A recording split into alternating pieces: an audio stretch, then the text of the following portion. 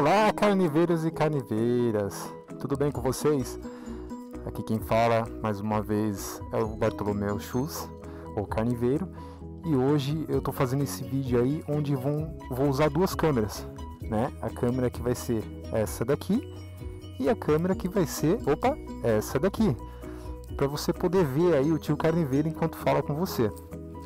É, o vídeo de hoje é referente à alimentação às plantas carnívoras. Então o que, que acontece? Eu tenho aqui alguns tenébrios. É, o tenébrio, vocês também vão ver aí eu olhando para cá e olhando para cá.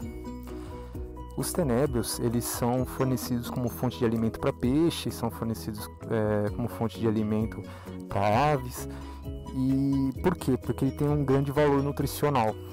Então, eu acredito, eu não sou biólogo, não sou botânico, mas eu acredito que seja interessante para as plantas.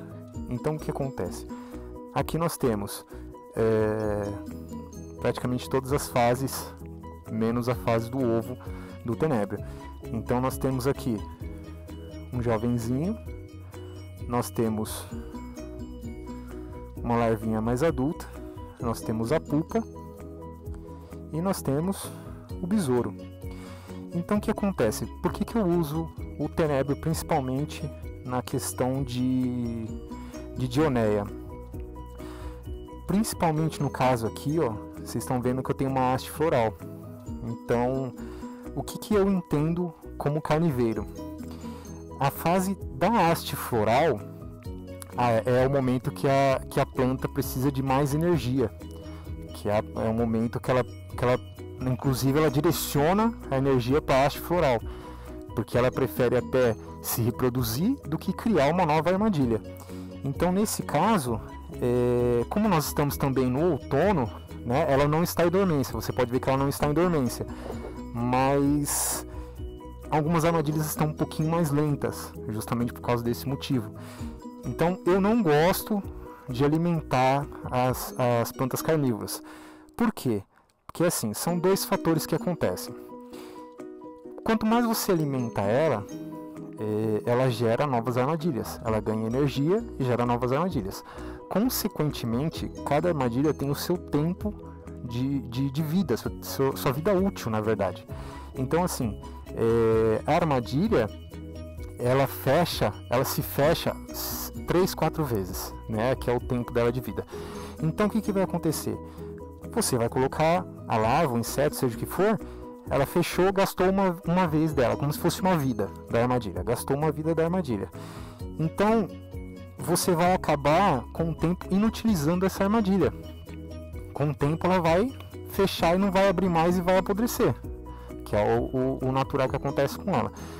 E a dioneia, tanto a dioneia como a, as nefentes, como, enfim, toda a categoria de plantas carnívoras, ela não, não tem necessidade da interferência humana, porque ela cata de acordo com o ambiente e se ela não consome, se ela não consome inseto, ela faz a sua fotossíntese através da luz, enfim, é vive, ela vive, é a natureza dela.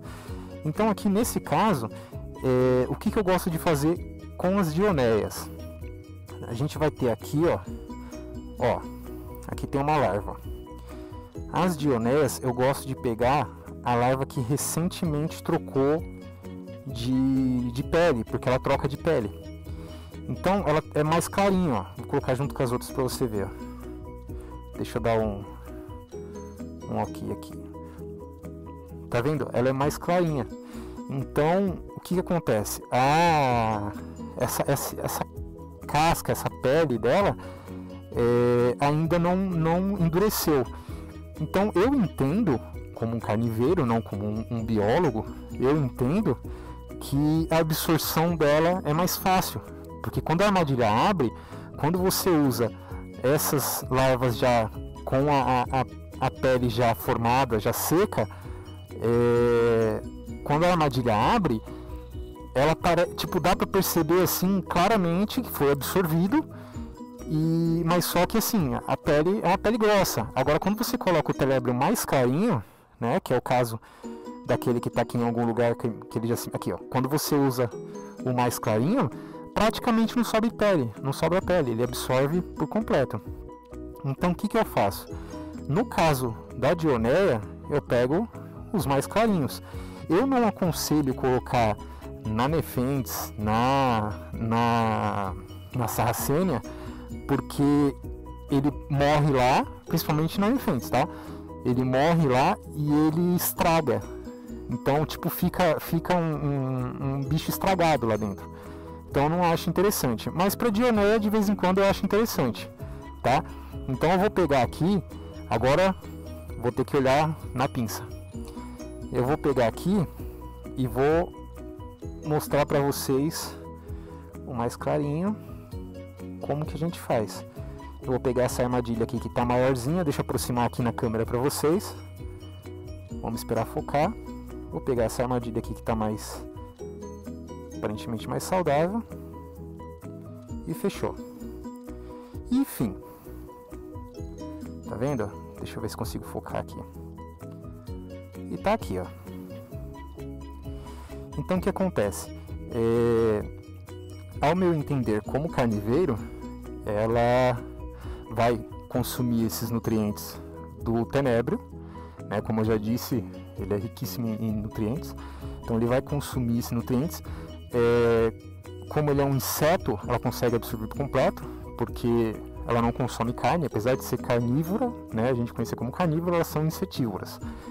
Então aqui ela vai absorver esse, esse inseto, vai mandar para o rizoma e, consequentemente, para as armadilhas e para a haste floral. Então, eu entendo como melhor, como, como nessa condição de haste floral, tem gente que corta, porque a haste floral consome muita energia da planta. Eu prefiro é, colocar, alimentar, induzir alimentação para ela, para ela ficar forte. Então, assim, quanto menos. Por isso que a gente fala que não pode mexer nas armadilhas, não pode ficar acionando a armadilha. Porque a armadilha tem um tempo de vida. Então, quando você aciona essa armadilha e ela apodrece, vai nascer uma nova armadilha, aí não vai ficar vermelha, porque você vai acionar de novo, tá, tá, tá, tá, tá, tá, tá. Mas só que o que é interessante pra gente é ver a armadilha bonita vermelha, não é verdade? Então, neste caso, especificamente neste caso, eu, eu ponho o, o a lavinha de tenebra. Tá bom, gente? Então, assim, é mais ou menos isso que eu queria dizer a respeito do tenebro. Eu não vou me aprofundar né, no que é o tenebro. Né? O tenebro é uma lava de besouro e ela passa por estágios, enfim. Isso daí eu não vou me aprofundar porque não é o, o, o foco do nosso canal. O foco do nosso canal são as plantas carnívoras. Mas se você tiver alguma dúvida aí, você pode deixar aqui nos comentários. Eu vou pedir para você ajudar o titio carniveiro, é, dá um curtir aqui, se inscreve, porque eu vou começar a lançar vídeos aí a todo momento barulho de carro. Eu vou lançar uns vídeos aí a todo momento, aleatório, não, não tenho dias programados para lançar os vídeos. Então é, se inscreve para você não perder, dá o curtir, compartilha, porque às vezes é, pra gente, pra mim, pra você, pra alguma pessoa já conhece isso, você fala, ah, não é interessante. Mas de repente tem alguma pessoa, no caso da Dioneia que está dando haste floral, que a haste floral ela tá matando as plantinhas ali ao redor, não, as, as armadilhas ao redor, e não sabe o que fazer. Para mim, como cultivador, como o carniveiro, eu acho que essa é a melhor opção. Tá bom, gente? Então dá um curtir, compartilha. Quero agradecer de coração a todos vocês que estão me seguindo aí no Instagram o Carniveiro, tá? Quero mandar um super beijo. É, quero agradecer aos inscritos, a todo mundo aí que interage com a gente, que a gente aí troca informações, tira dúvidas e tudo mais. Tá bom, gente? Então fiquem com Deus, Deus abençoe a sua família, Deus abençoe o seu cultivo. Tá dando um joinha aqui. Deus abençoe seu cultivo. E qualquer, qualquer dúvida, só chamar Bartolomeu Chus ou Caniveiro. Fiquem com Deus.